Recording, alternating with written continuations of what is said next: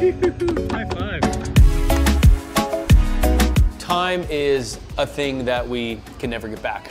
And if you're like me, a business owner, a husband, a father, trying to do the best we can at all those, it's not something I really have a lot of extra to go around. So one thing I'm always trying to do is automate and find ways to save time. I will happily trade money for time every day of the week. And of course, one of the ways that you can save time is by automating some of the chores that you have to do, right? We all have stuff that just has to get done every day.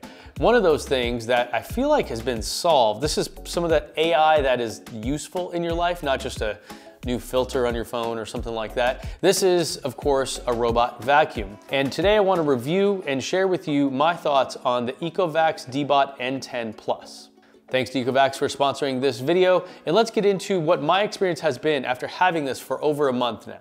My house here is 2,400 square feet. We've got two big living rooms here. We've got our dining room and entryway, plus four different bedrooms. Now, if you are like me and you have young kids, they are constantly making messes everywhere they go. That's just kind of what they do. They're like little mess factories.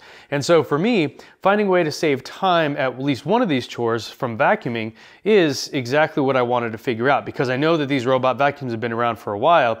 And so I had to do a bunch of research before I found this one here, which is from Ecovacs.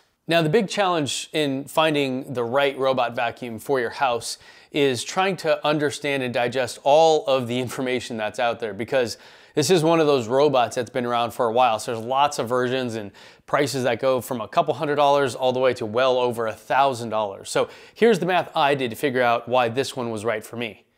So the first thing that I looked at was the kind of flooring I have. And you can see here that this is this old 1960s flooring that has this deep grooves here, this tile. We haven't really got rid of that yet. We haven't convinced my wife of it. And in order to actually get the stuff out of here, you have to have enough suction. So understanding the amount of suction that you need is the first thing to consider. And luckily, my Deebot N10 Plus has 3,800 Pascal pressure units, which is the little measure you see over there.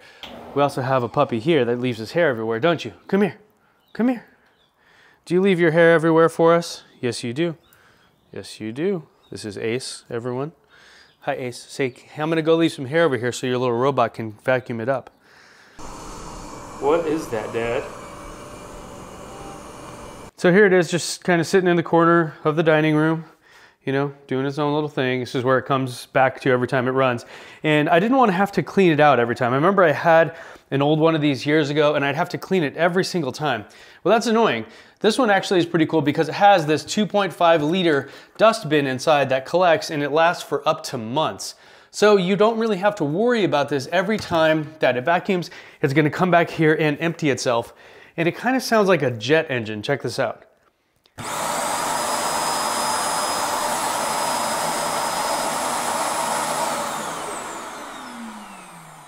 And there you have it. So this way it empties everything out and I don't have to deal with it except for, you know, once every couple months. The first couple times I did that, it had picked up so much hair and stuff from our dog and from the rugs and everything that I had to manually empty it because it was just so clogged. So after we got through those first few times and it is able to kind of maintain a level of cleanliness around here, it works fine. But originally it was a bit of a challenge and now thankfully I don't have to deal with it.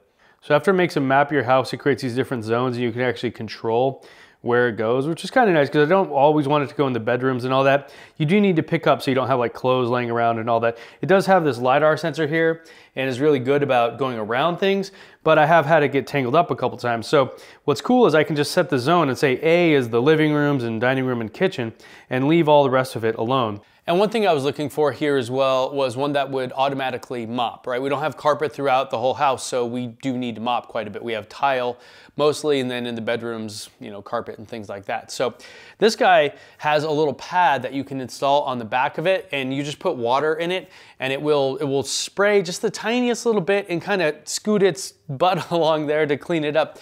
And the cool thing because I was wondering how that would work, right? With, uh, with carpet and rugs and tile and, and wood.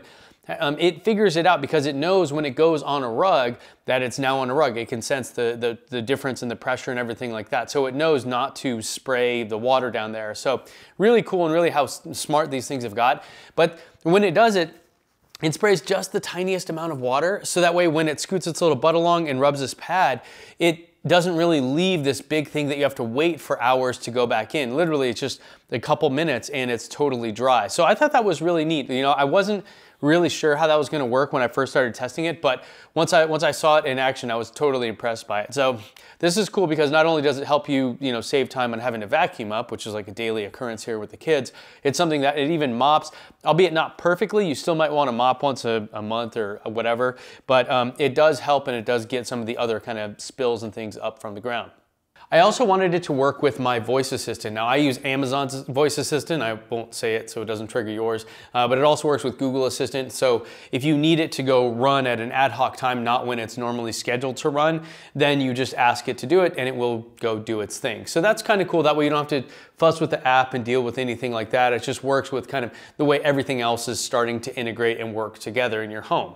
And you'll notice I didn't get the most expensive one here. Of course, they sent this over for me to review, and usually that means they give me the kind of maxed out one, whatever it is, because that's what they want you to buy. But I wanted to make sure in talking with them before I did a review on this, first off, that it worked, and second off, that it was something that was more responsible because saving money and having more money to offset other things and give you more time in your life is a key part about living a bulletproof life. So thanks Ecovacs again for sharing this with me so I can share it with you guys. If you wanna know more about how this actually works and how it's gonna work for my house and what my house looks like, you have to check out this home tour I did over here where I go through everything that I have now and how I'm gonna switch it over to be more sustainable, more self-sufficient, so I don't need to rely on anyone else to kind of protect my family and my home. That's it for this one, guys. Let me know what you think in the comments and I'll see you back here next time.